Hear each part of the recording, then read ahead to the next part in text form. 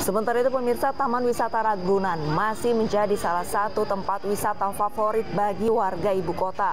Pengunjung dapat membawa keluarga sambil bermain dan belajar. Di sini ada kurang lebih 2.000 satwa yang dapat menjadi pilihan para pengunjung untuk bermain sambil belajar. Tiket masuk pun relatif murah, hanya membayar Rp4.000 untuk dewasa dan Rp3.000 untuk anak-anak dan akses masuk hanya bisa menggunakan Jakarta. 中。